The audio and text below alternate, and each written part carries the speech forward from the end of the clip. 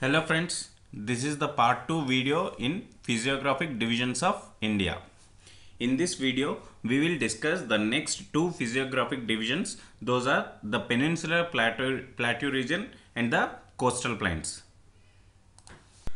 The peninsular plateau or peninsular India is the name given to the area spreading to the south of the Indo-Gangetic plain and it is surrounded by sea on three sides. This plateau is shaped like a triangle with its base in the north and a narrow apex to Kanyakumari which is in south. The general slope of the land of this part is towards north and the rivers rising in this part flow northwards and join rivers of Ganga system. The rivers like Chambal, Son and Damodar are the examples of these rivers. Though most of the rocks in the plateau region are very old, the lava rocks are generally not visible in this part. The rock system of the peninsular plateau region extend towards northeast up to Meghalaya plateau. And this peninsular plateau is bounded by eastern Ghats in the eastern side, western Ghats in the west western sides and Aravalis towards northwest. This plateau covers an area of total area of about 16 lakh square kilometers and its average height is 500 to 900 meters. The peninsular plateau spreads over the states like Gujarat, Maharashtra, Bihar, Karnataka, Andhra Pradesh, Jharkhand and Telangana. And it is composed of old crystalline, igneous and metamorphic rocks.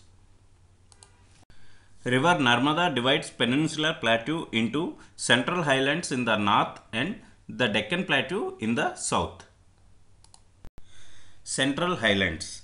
This area consists of the some of the oldest rock formations and these central highlands are also known as Madhya Bharat or Madhya Plateau.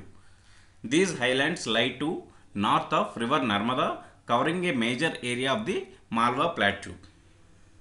These highlands are bounded by important ranges like Vindhya range in the south, Aravali mountains towards northwest and Chota Nagpur plateau in eastwards. The important plateaus in central highlands are Bundelkhand, Baghelkhand and Chota Nagpur plateau. Central highlands further divided into Malwa plateau and the Chota Nagpur plateau. The Malwa Plateau. This region lies to the north of the Narmada River and is spread across the states Rajasthan, Madhya Pradesh and Gujarat.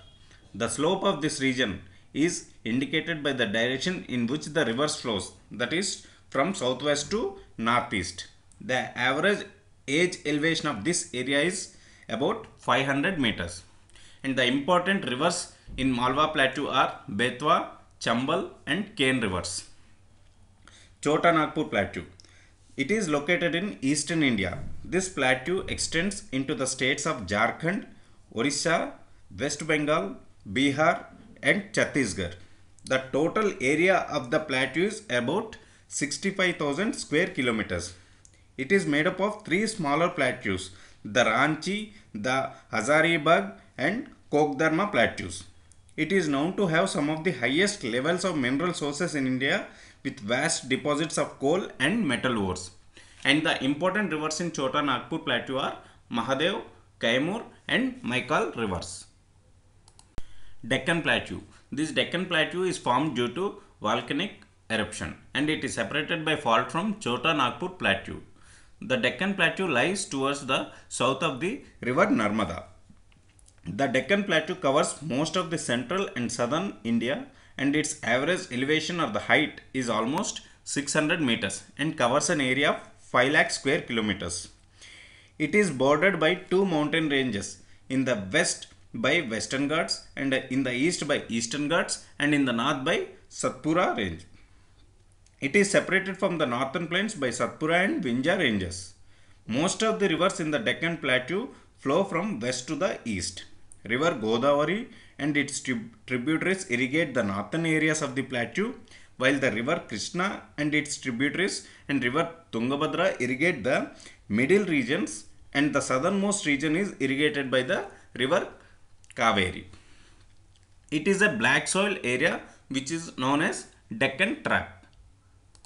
Deccan Plateau is further divided into Western Ghats and the Eastern Ghats. Western Ghats runs parallel to the western coast. The Western Ghats are in the form of continuous range from south to north.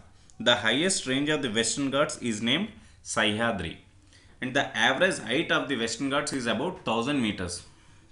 The Western Ghats form a major water divide in the Deccan Plateau region, and the rivers rising from the eastern slope of these Ghats flow towards the Bay of Bengal. Rivers like Godavari, Krishna, and Kaveri all rise in the Western Ghats and flow across the Deccan Plateau into Bay of Bengal, except the rivers like Narmada and Tapti flowing through through rift valleys. The rivers rising on the western slopes of the Western Ghats are short, turbulent streams flowing over the steep western face of the Ghats into Arabian Sea. And the major hill stations in Western Ghats are Lonavala, Khandala, Mahabaleshwar. And the highest peak in Western Ghats is Anaimudi, which is about 2695 meters. Eastern Ghats. Eastern Ghats runs parallel to east coast. The eastern Ghats, on the other hand, are formed by series of discontinuous hill ranges with gaps through which the rivers of the peninsular region flow into the Bay of Bengal. And the average height of the eastern Ghats is about 600 meters. In the important hill stations in the eastern Ghats are Udagamandalam, also known as Ooty, and Kodaikanal. And the highest peak in eastern Ghats is Mahendragiri, Mahendragiri which is about 1501 meters. The fourth physiographic division of India is the coastal plains. Coastal plains runs parallel to Arabian Sea and Bay of Bengal along the peninsular plateau. Coastal plains are further divided into the western coastal plains and the eastern coastal plains. The coastal plain stretching along the Bay of Bengal coast is called the eastern coastal plain, while the one stretching along the Arabian Sea coast is called the western coastal plain. The western coastal plains. These plains stretches from Rann Kutch in north to Kanyakumari in the south. This plain is narrow except for in Gujarat where it is the widest and it is about 10 to 15 kilometers wide. And the important rivers in the western coastal plains are Narmada, Tapti, Mahi and Sabarmati. The western coastal plains comprise of the four sectors. First one is Konkan coast which is the coast from Mumbai to Goa. Second is Karnataka coast or Kannada coast which is the coast from Goa to Mangalore. And the third is Malabar coast which is from Mangalore to Kanyakumari. And the fourth one is Kathiawar coast or Gujarat coast which is from Rann of Kutch to Mumbai. We will see in detail about these four coasts. The first one is Konkan coast which extends between Daman in the north to Goa in the south. Rice and cashew are the important crops grown in this Konkan coast. Second one is Kannada or Karnataka coast. It extends between Marmagaon and Mangalore and it is rich in iron deposits.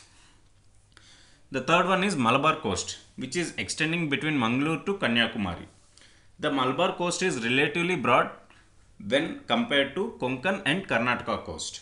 This region also consists of lagoons running parallel to the coast in southern Kerala. Kathiawar coast. Kutch, formerly a gulf, in, is formed by deposition of silt by the Indus. The area of Kutch is covered with shallow water during the monsoon and it is divided into Great Rann in the north and Little Rann in the east. Whereas Kathiawar is situated to the south of the Kutch. The eastern coastal plains. These coastal plains stretching along the Bay of Bengal. And it extends from West Bengal to Tamil Nadu through Andhra Pradesh, Telangana and Odisha. The average width of the eastern coastal plains is about 160 to 480 kilometers. These eastern coastal plains are also known as Coromandel coast. It is broad fertile coastal lowland and the important rivers in the eastern coastal land uh, plains are Mahanadi, Mahanadi, Godavari, Krishna and Kaveri. Eastern coastal plains are classified into three plains. Those are Utkal plain, Andhra plain and the third one is Tamil Nadu or the Coromandel plain. Utkal coastal plain. These extended between the Chilka lake and the Kolleru lake. These Utkal coastal plains are much wider than the western coastal plains and undergo immense rainfall. Rice, coconut, and banana are the some of the important crops that are cultivated in Utkal coastal plains. The second one is Andhra coastal plains. These extended between Kolleru Lake and the Pulicat Lake. The Andhra coast forms a basin area for the Krishna and the Godavari rivers. The third one is Tamil Nadu or the Coromandel coast. This coast extends between Pulicat Lake and Kanyakumari in Tamil Nadu. This Indian coastline remains dry in summer and receives rainfall during the winters due to northeast monsoons. We will see the remaining important two important physiographic divisions. Those are the deserts and the islands in the next video. Thank you.